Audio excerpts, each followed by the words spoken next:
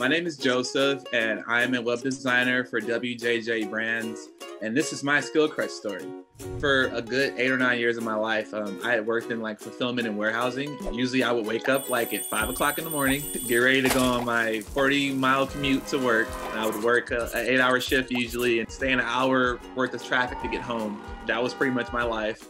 It was more of something that like I was really good at doing, but not something where I really felt like, you know, a lot of joy to do when the pandemic happened, I actually ended up putting in my two week notice because it wasn't really fulfilling me in a way.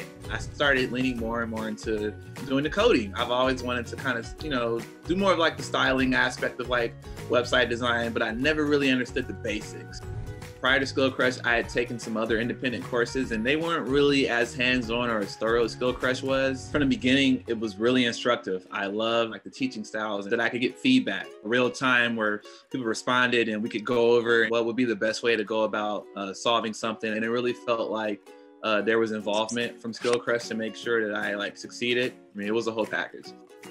I think the class was about three months. I want to say three and a half, almost four. And I had sent out a lot of applications, but it literally took me about two and a half weeks on my uh, search. I am a head web designer uh, with the agency I work with, and I love it.